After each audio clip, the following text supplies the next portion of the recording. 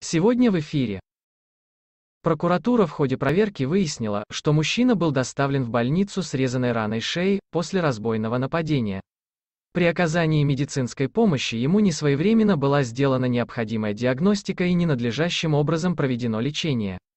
Это привело к развитию ишемического инсульта. Здоровья вам! Ставьте лайк и подписывайтесь.